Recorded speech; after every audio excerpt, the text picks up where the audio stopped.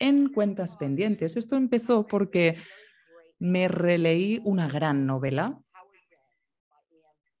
Howard Zen, de Ian Forrester, hace mucho tiempo ¿eh? de estos. Lo leí ahora 40 años después y lo entendí. No era un misterio. Entendí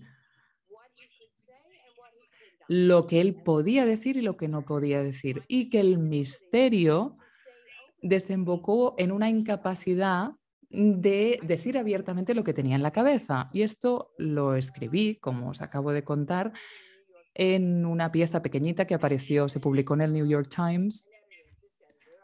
Y este editor del que estoy, o editora me llamó y me dijo, mira, esto es un libro, ponte a escribirlo. Lo que acabas de describir es la relación entre un libro y el paso por la vida de una persona.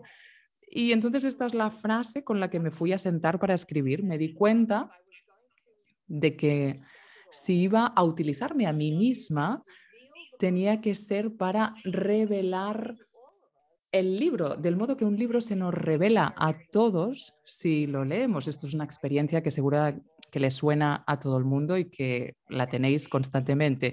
Te lees un libro a una edad, luego te lo lees a otra edad, luego más tarde